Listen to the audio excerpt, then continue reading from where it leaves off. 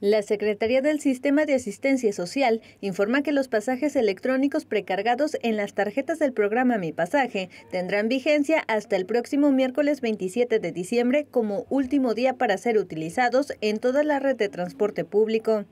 El director del programa, Óscar Ernesto Pérez, afirmó que esta medida se hace año con año con el objetivo de dar cierre fiscal a este subsidio gratuito, por lo que aconsejó a los beneficiarios activos a preservar su tarjeta para realizar el refrendo correspondiente durante el primer semestre del año de 2024. Una vez que se termine su vigencia del boleto, que esto sucederá en el último minuto del 27 de diciembre, a partir del 28 de diciembre, ellos podrán acudir a cualquier eh, máquina de recarga o alguna tienda de conveniencia donde se haga la recarga, le colocan dinero en su tarjeta, se va al monedero y en el momento que ellos utilicen el transporte público, la tarjeta ya está programada y habilitada para que se les descuente solo el 50% de la tarifa ordinaria en cualquier medio de transporte en, dentro de la zona metropolitana y por supuesto en el interior del estado. Este año se destina un presupuesto de 239 millones 267 mil 300 pesos para beneficiar a 57 mil 114 estudiantes, 54 mil 664 personas adultas mayores,